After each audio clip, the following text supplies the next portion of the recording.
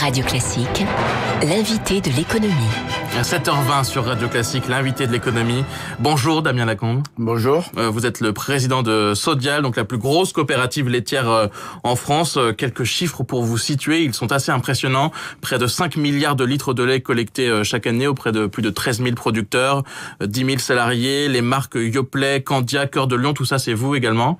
Alors on va commencer avec la loi sur la transparence et la modernisation de la vie économique, ce qu'on appelle en fait la loi Sapin 2. Stéphane Le Foll, le ministre de l'Agriculture a, détaillé euh, hier euh, euh, quelques, quelques nouvelles mesures, et notamment contraindre les industriels de l'agroalimentaire à publier leurs comptes, notamment en augmentant les sanctions s'ils ne le font pas. en pointant du doigt, par exemple, Lactalis ou encore Bigard, est-ce que déjà vous, est-ce que vous publiez vos comptes? Alors nous publions nos comptes et je dirais même que c'est euh, notre devoir vis-à-vis de nos adhérents, justement, de leur montrer les résultats de la coopérative, de leur expliquer euh, comment ils ont été construits, euh, quelle est l'activité, quelle est la rentabilité de la coopérative. Donc notre devoir de producteur. Moi, je suis moi-même producteur de lait dans l'Aveyron avec 70 vaches laitières. Et ce que je demande à ma coopérative, c'est bien de valoriser mon lait, de m'expliquer comment justement elle a pu valoriser ce lait-là, quels sont les résultats de la coopérative, comment on se positionne justement? Est-ce qu'on a une coopérative qui est forte pour préparer le lendemain Donc clairement pour nous, euh, euh, c'est une euh, obligation vis-à-vis de nos adhérents et on est fiers justement de pouvoir expliquer tout ça à nos adhérents tous, les, tous les ans dans nos réunions de producteurs, dans nos réunions sur le terrain. Donc pour nous, c'est un non-sujet pour nous et on fait déjà ça depuis longtemps et on continuera à le faire. L'objectif de la mesure, c'est d'être plus transparent sur les marges, notamment des industriels. Est-ce que cette, cette mesure est une bonne mesure pour aller dans ce sens? Plus de transparence la, transparence par rapport euh, aux marges qui sont réalisées, euh, c'est quelque chose que nous, effectivement, nous expliquons aussi à nos adhérents. Nous, nous expliquons euh, cela en démarrant justement de, la, de nos valorisations, en expliquant effectivement quelle part de, de marché est, est, valorisée par la GMS, quelle part de marché est valorisée sur la restauration hors foyer, par exemple, sur le, B2B, les marchés plus internationaux, et, et, nous expliquons à nos adhérents justement quelle valorisation nous retirons de chaque marché spécifique. Donc, pour nous, euh, je pense que ce n'est vraiment pas un vrai sujet, euh, ce sujet-là, quoi. Et, l'intérêt pour la coopérative que les adhérents partagent bien à la fois euh, la vision stratégique de la coopérative, mais aussi la vie économique de tous les jours, c'est extrêmement important. Quoi. Alors, sur les négociations tarifaires qui se sont terminées lundi soir, donc négociations entre d'un côté la grande distribution et puis de l'autre les industriels, les coopératives, etc. Sur le lait, a priori, pas de nouvelles baisses c'est ce qui a été en tout cas annoncé par Stéphane Le Foll. Vous, vous confirmez? Pas de euh, baisse sur les prix du lait?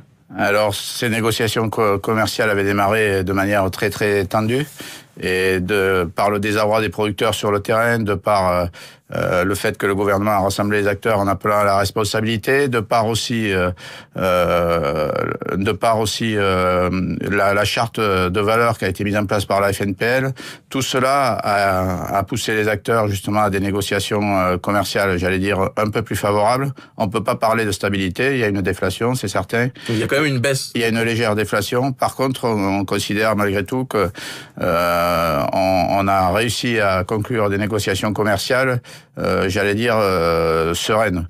Et à ce titre-là, d'ailleurs, nous-mêmes, nous allons signer la charte de valeur de, la, charte de avec un certain nombre de nos clients distributeurs, euh, puisque c'est sous cette l'égide de cette charte que nous avons mené ces négociations commerciales. Donc voilà un peu la situation aujourd'hui. Beaucoup parlent de négociations qui ont été extrêmement tendues avec des coups de pression même jusqu'à la dernière minute, lundi avant minuit. Est-ce que vous, vous confirmez ça aussi alors les, négociations, euh, c'est ce que je viens d'expliquer, les négociations avaient démarré de manière très très tendue. Et effectivement, euh, euh, on est arrivé euh, dans notre euh, à des négociations un peu plus sereines vers la fin des négociations et aujourd'hui on peut considérer que on a on a une légère déflation mais malgré tout malgré tout une une légère déflation puisque on, on va pas parler de chiffres malgré tout on considère qu'on a on a eu des négociations qui se sont à peu près bien passées pour ce qui concerne notre secteur en tout cas nos relations avec nos distributeurs dans la coopérative quoi. Donc après oui, à court terme, il n'y aura pas de baisse des prix pour les, producteurs laitiers Alors, euh, je vous ai expliqué que la grande distribution, pour nous, ça représentait 40% de nos volumes. Donc ce n'est pas toutes les valorisations de la coopérative. Donc euh, ces négociations commerciales, déjà, elles doivent aussi euh, nous permettre de maintenir les tarifs dans l'année, puisqu'effectivement on négocie pour les marques à ce moment-là, mais il y a aussi d'autres, il y a les marques distributeurs. Tout ça doit perdurer dans l'année. C'est la première des conditions pour qu'on puisse effectivement euh, travailler sur notre prix du lait. Il y a aussi tout ce qui concerne la restauration hors foyer, qui aujourd'hui est un secteur extrêmement bataillé et sur lequel effectivement il faut aussi appelle euh, à la responsabilité puisque c'est un gros euh, pan de marché pour euh, pour pour notre entreprise et pour les entreprises du secteur en général et c'est effectivement un élément aussi de, valoriser le marché intérieur. Donc clairement, on a le j'allais dire le chantier n'est pas terminé. il y a des négos qui se sont terminés aujourd'hui. Il faut les faire perdurer dans l'année. Il faut travailler sur la restauration hors foyer derrière et, et derrière pour tout le secteur qui est soumis à la concurrence internationale qui est quand même très important pour nous. Il faut aussi qu'on agisse au niveau européen euh, pour euh, essayer justement euh, d'obtenir un certain nombre de choses pour que l'année soit soit plus favorable pour les producteurs. Donc je pense pas qu'on puisse parler de de maintien du prix du lait aujourd'hui. On est dans un dans un chemin qui est long avec une bataille à mener qui est importante.